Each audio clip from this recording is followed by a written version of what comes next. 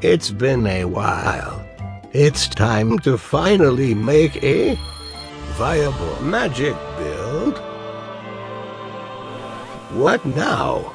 Sorry to interrupt, old man, but are you going senile?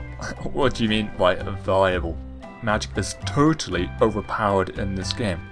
This sounds a lot like you're making useful data. Oof. Grandson, I don't feel so good.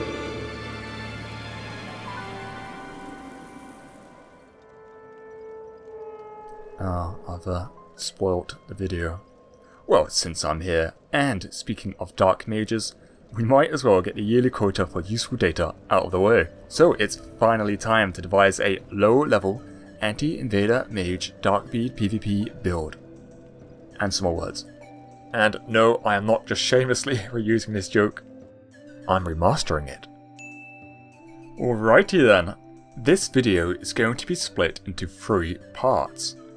Understanding the enemy, the counter build, and a demonstration. Click on any of these headings to pause the video, since YouTube removed that feature. Or, for a limited time only, you could use these time codes too, I guess. And with that all out of the way, let's get started. This is a sorcerer. While they may seem small and harmless now, they are easily drawn to hexes. Well, hexes is technically incorrect, since in this game there is no dark damage, just look at the dark hand. I mean, there isn't even a dark damage or dark defense stat. So all hexes are resisted by magic defense. But then again, technically, the dark hand does do occult damage, but let's not get into all that stuff anyways. The conversion only takes some flashy headgear, a staff, and one ring to get some ridiculous damage. On the left, we had stock mage with nothing added or changed. And on the right, with the new items, we can clearly see we are now 1.7 times more powerful and also unfashionable. Seriously, I love that dorky mage beret.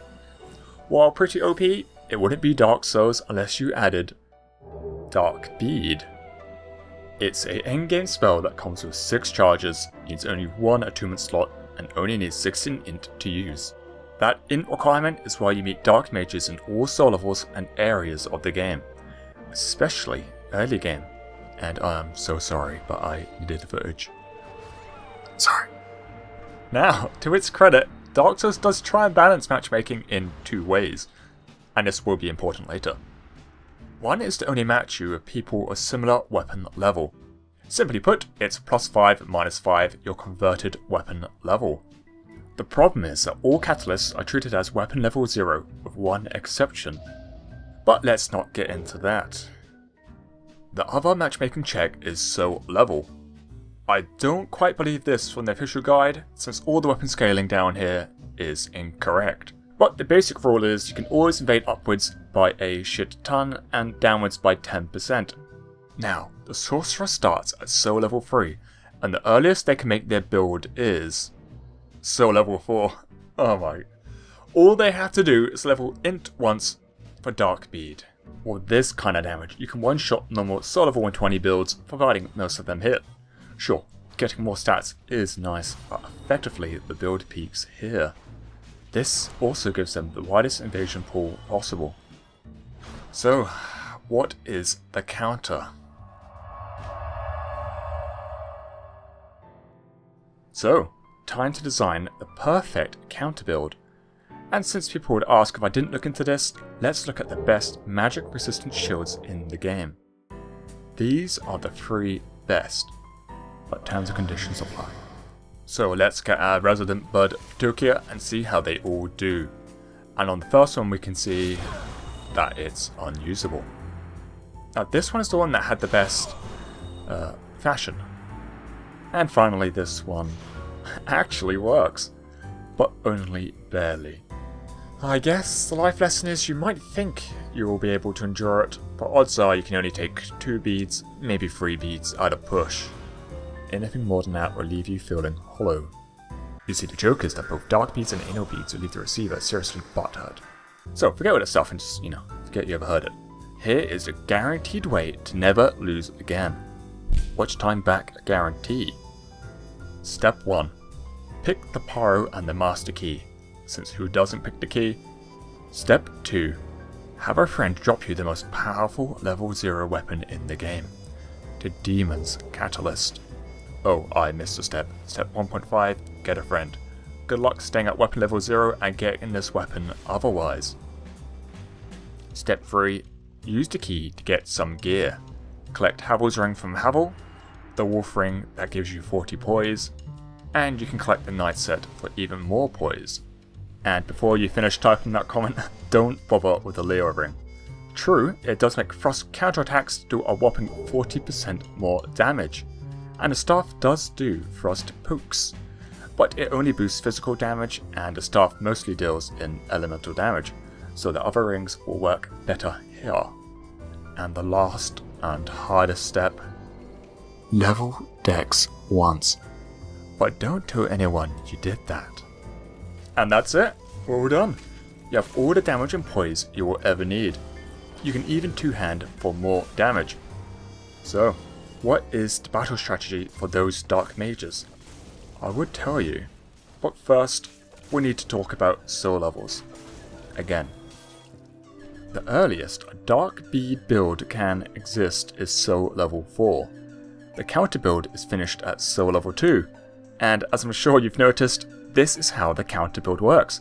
This is how you'll never lose ever, ever again. Since you're such a low level, you cannot be invaded by Dark Mages anymore. It is a counter build, because simply you would never encounter them. This build does come with some caveats though. You won't want to interact with any PvP soapstone, since dark mages could be lurking inside there. When you're invaded, you're completely safe. Now, dark moons can invade, but only if you have sin, but since we don't invade, that won't be a problem. So for that PvP, just become human, buy the dried finger of the merchant, and now you can fight off low-level invaders to your heart's content. Also give yourself a pat on the back, unlike those filthy mages, you're simply not one-shotting weaker and newer players, but fighting other dedicated invasion builds. And there we go. Just sit back and wait. And also, uh, let me fast forward this a tiny bit.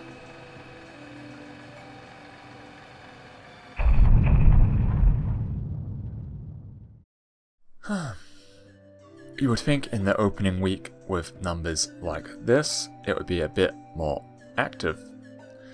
This takes much longer, I might have to rename this video How to Make a Bloodborne PvP Build. Thank you very much. I'll be here all week. And maybe even two weeks.